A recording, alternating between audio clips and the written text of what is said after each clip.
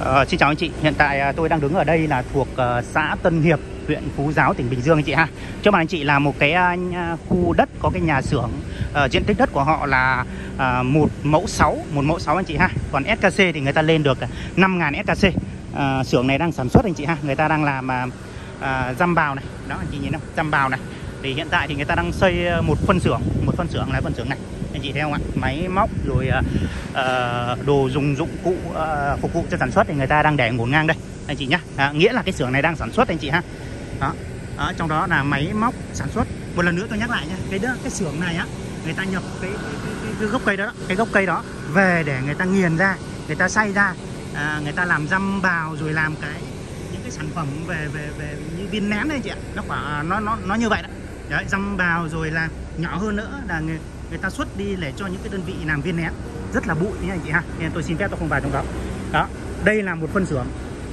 Ừ, phân xưởng trong này là người ta à, thành phẩm của người ta này. Đó thành phẩm người ta. Thì à, người ta khi mà à, người ta xay người ta nghiền người ta làm ra đầy một container rồi một cái xe rồi thì người ta xuất đi cho những cái đơn vị à, người ta làm à, viên nén anh chị ha. Đó nghĩa là sản phẩm của cái công ty này á là làm ra bùn gỗ cao su. Đó dành cho những cái đơn vị làm viên nén anh chị ha dăm răm bạc đó anh chị nhá. Đó. Đó còn đây đó, người ta đang nghiền cái anh chị. Đó người ta đang nghiền đấy anh chị ha đó đang nghiền. Ở đây này. Đó anh chị ha còn cái ờ, cái nguyên liệu ờ, nguyên liệu ờ, thô người ta nhập về là cái gốc cao su. Đó những cái cây cao su thanh lý rồi á là cái thân gỗ của nó là người ta làm những cái như là ba lết này rồi làm những cái, cái sản phẩm của những cái đơn vị người ta đặt hàng người ta đóng bàn đóng ghế đóng pallet. Còn cái gỗ cao su còn cái gốc cao su người ta sẽ nghiền ra người ta nghiền ra thành răm bào này rồi thành phẩm răm bào rồi là à, cái nhỏ hơn nữa là làm viên nén. Anh chị ha đấy tôi chỉ chia sẻ được như vậy thôi. Anh chị ha đó. Rồi. Đấy mình quay ra. Ờ, thì cái diện tích của nó là một mẫu 6 SKC nó lên được là 5.000 mét vuông. 5.000 mét vuông. Tường bao xung quanh này anh chị. Đó. Rồi ờ, điện ba pha thì người ta đã hạ rồi. Đây là cái ờ, cái băng tải. Đó, có một cái xe tải của người ta. Xe tải này dùng đi xuất hàng này. Đó xuất hàng đi này. Đấy như vừa tôi chia sẻ thì nó cứ đầy một cái xe là ờ, trong kia người ta nghiền ra đầy một xe là người ta đưa lên xe này. Đó anh chị ha. Đấy còn anh chị muốn chi tiết hơn nữa thì mình phải vào xưởng mình xem. Ở đây thì ờ, công nhân ở tại đây luôn anh chị ha. Ở trong cái dãy nhà đó luôn. À, ngoài đấy có nhà bảo vệ này nhà ở cho công nhân anh chị ha. Đó văn phòng điều hành thì ở ngoài đó luôn.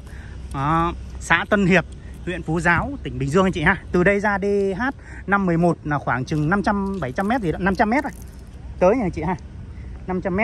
rồi ra ngoài DH507 khoảng 1,5 cây số rồi khoảng đó thôi anh chị ha đó còn từ đây về thủ dầu một của chúng ta thì khoảng 40 cây số. Về thành phố Hồ Chí Minh thì khoảng ờ, 75 cây số. Về thành phố Biên Hòa cũng khoảng 75 cây. Thì tôi chia sẻ như vậy. Tôi luôn luôn chia sẻ về khoảng cách để cho những cái ờ, đơn vị ờ, sản xuất ấy, đang ở dưới đó mà muốn có dịch chuyển lên trên này cho đất rộng một chút rồi nó rẻ một chút thì anh chị căn từ cái nhà máy công ty mẹ của mình từ nhà mình lên đến đây là bao nhiêu xa anh chị ha? Còn cái xưởng này người ta bán 35 tỷ anh chị ha? 35 tỷ nhá.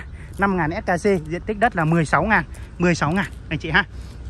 Tân Hiệp uh, Phú Giáo Bình Dương. Anh chị nhá. Rồi mọi thông tin về cái uh, cái cái nhà xưởng này này thì anh chị cứ liên hệ thẳng trực tiếp cho mình thông qua số điện thoại là 0918645130 hoặc điện thoại bàn là 0271 373 7968 anh chị ha.